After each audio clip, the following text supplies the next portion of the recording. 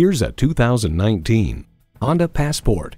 Tough, fun, reliable, safe. The Passport is what an SUV should be. It comes with the features you need and better yet, want.